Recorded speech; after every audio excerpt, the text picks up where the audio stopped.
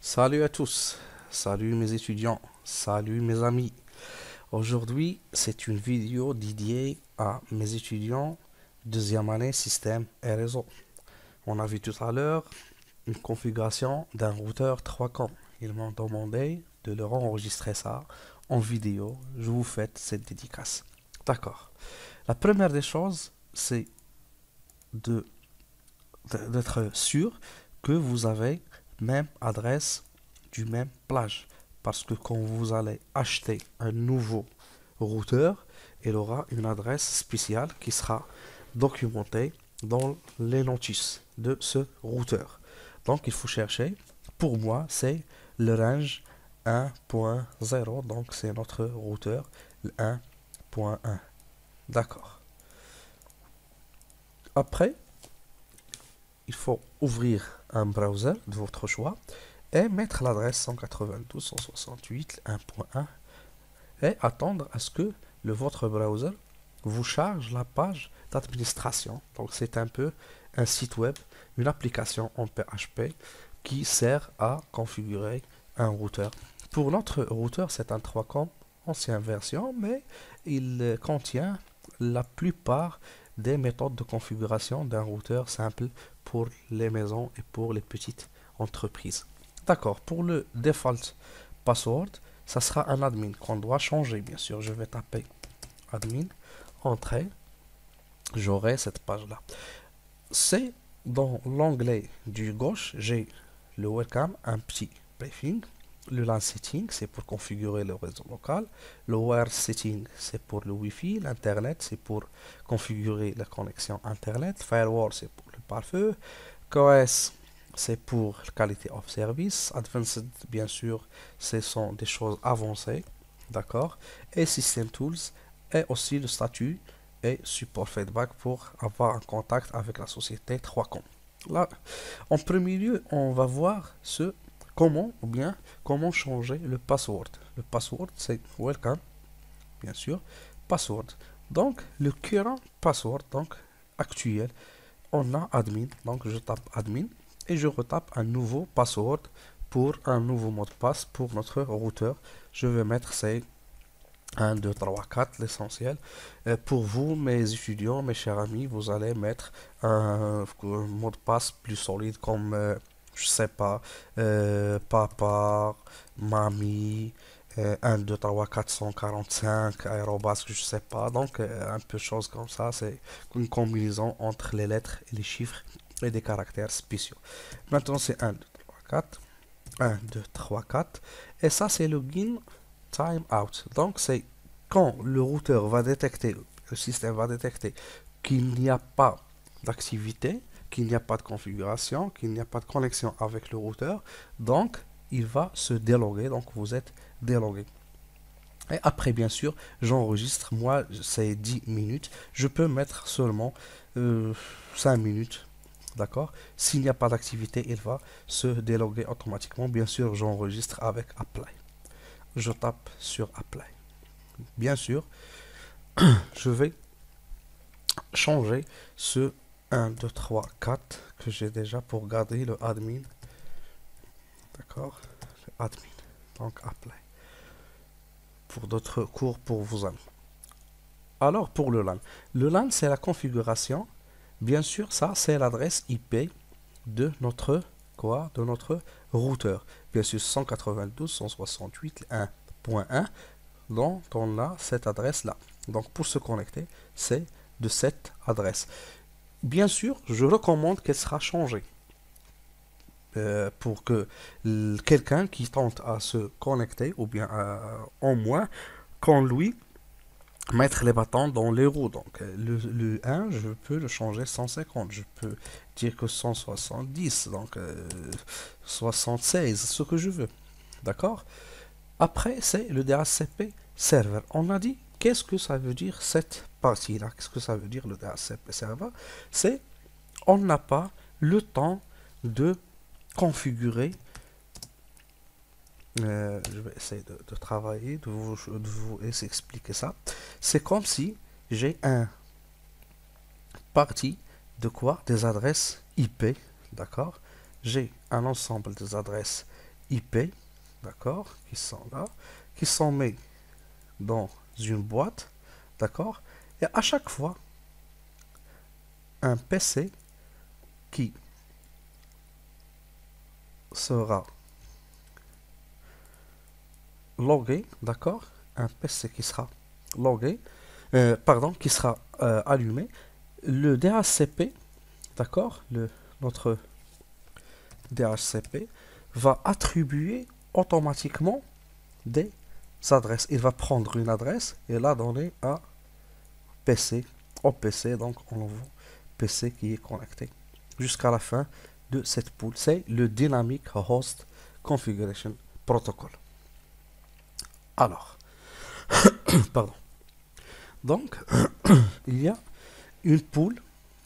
Une pool, c'est une plage, c'est une euh, partie des adresses où on commence et on finit. C'est ça, c'est début, ça, c'est la fin.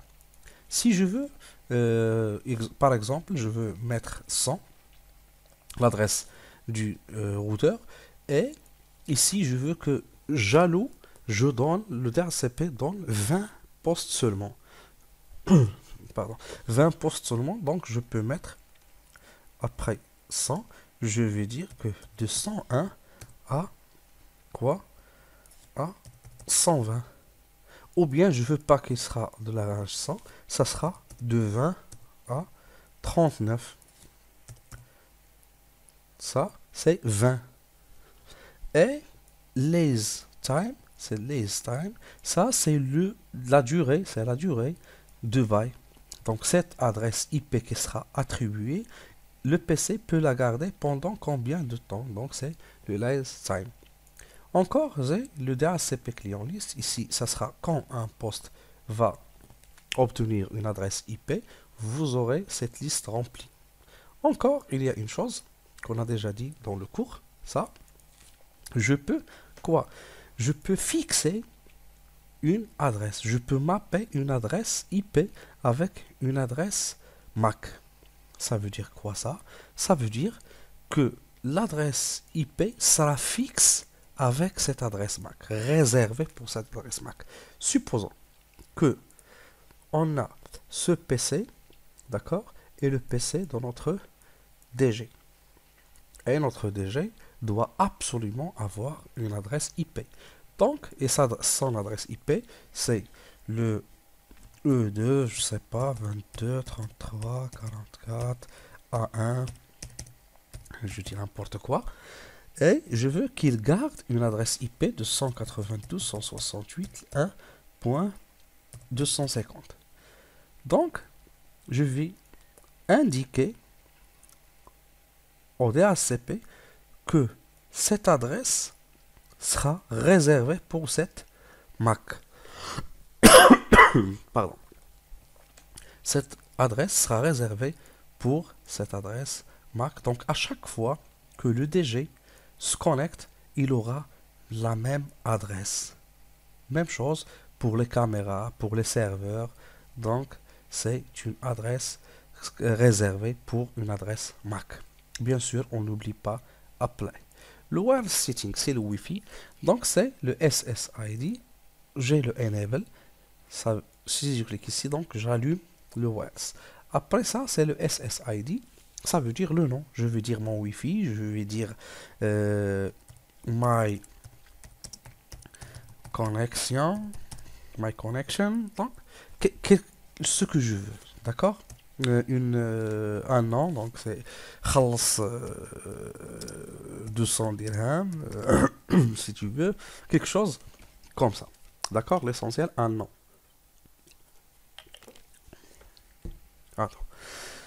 Encore. Ça, c'est l'encryptation. C'est le code de sécurité. Je vais mettre pas le web. Ça, on l'a dit, déjà dit. Le web, c'est facile à craquer, surtout maintenant, avec les outils de piratage des clés web. Maintenant, on utilise le WebPR. Bien sûr, le WebPR 2. Et ici, je peux mettre quoi? Je peux mettre mon key, euh, le mot de passe. Donc c'est mon mot de passe, bien sûr, euh, je sais pas, une 1, 2, 3, quelque chose comme ça, 4, chose comme ça. Et bien sûr, le apply. Encore.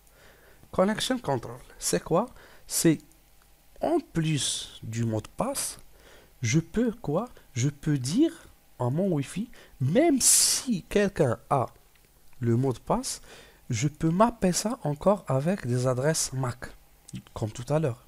C'est quoi? C'est j'autorise seulement ces gens, d'accord? 1, 2, 3, je sais pas combien d'adresses MAC des gens, d'accord Qui seront connectés à mon Wi-Fi grâce à leur adresse MAC. Donc il suffit de remplir avec les adresses MAC de vos tablettes, de vos PC, de je sais pas, C1, 22, je sais pas, euh, A5, 33, 20, 11, 44, quelque chose comme ça.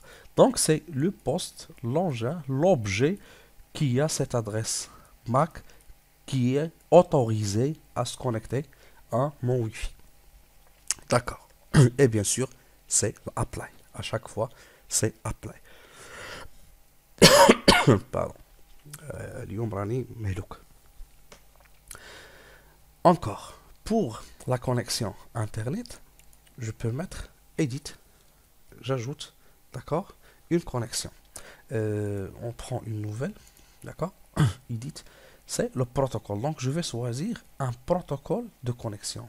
La plupart, c'est le PPOE. C'est le point-to-point over Ethernet. D'accord? C'est over Ethernet. Je laisse ces adresses comme ça. Ça veut dire quoi? Ça veut dire les adresses IP et le subnet. Ça sera donné automatiquement par notre fournisseur d'accès ADSL. Username, bien sûr, c'est ce qui est noté dans votre contrat. Momo 1945, je sais pas euh, PP, quelque chose comme ça, avec un mot de passe que vous avez dans votre contrat. On touche à rien, sauf que ici, ça sera le 8 35. C'est les chiffres euh, d'indication de VPI et VCI qui est demandé par la technologie ATM quand, on va voir après dans la CCNA 4. D'accord, mes étudiants? Encore. Et bien sûr, le apply. Le DNS, si je veux que mon fournisseur donne, me donne, ou bien donne à mon ordinateur, euh, pardon, à mon routeur, une adresse DNS, d'accord, d'un serveur DNS, je laisse ça coché. Sinon, je peux moi-même donner les adresses qui seront attribuées automatiquement à mes clients, d'accord, et que le routeur que le routeur va utiliser pour la résolution des noms. Et bien sûr, apply. Firewall, firewall. Donc c'est le pare-feu. Le pare-feu, donc euh, le plus important pour nous, surtout dans l'utilisation, c'est euh, familial. Donc c'est l'URL filtre. Donc c'est le filtrage par URL. Si je veux que mes enfants ne se connectent pas à Facebook, je mets juste https facebook.com c'est tout denied donc je bloque ça. Encore un autre site. Https www.gg je sais pas xy d'accord? Et comme ça il sera bloqué. Il ne peut pas accéder vos enfants ou je sais pas vos utilisateurs. Et bien sûr, toujours, toujours, toujours apply. Content filter, c'est quoi? C'est le contenu. C'est quelque chose euh, que vous voulez qui ne sera pas affiché à partir de votre euh, routeur et dans un mot ou bien une catégorie de produits, des mots, des choses qui seront dans le contenu d'un site web. Donc c'est un petit filtre grâce à Content Filter Server, ce serveur-là qui est prédéfini par Trawacom. Sinon, si tu as un autre site que tu peux chercher ça dans l'internet et prendre un, site, un filtre de ou bien un serveur de filtrage. et tu mets deny, deny. Encore, si tu veux ajouter quelque chose, si tu veux que les kids site, vos enfants n'accèdent pas au kids site, tu peux mettre deny et bien sûr apply. À chaque fois, c'est apply. Encore, euh, je vais passer directement au système tools, c'est restart de router. Ça, si tu veux redémarrer le routeur, bien sûr. Ça, c'est la configuration d'un backup, euh, d'une restore configuration. Ça, je vous conseille pas de toucher à ça si vous n'êtes pas des pros et vous avez déjà gardé au moins une copie de l'iOS de routeur. Je pense que c'était un peu euh, un résumé de configuration de notre routeur dans l'attente d'autres vidéos. Merci mes étudiants, merci mes amis. Je m'excuse pour le son parce que c'est déjà 22 heures et je suis pire fatigué. Donc euh, à bientôt. Merci.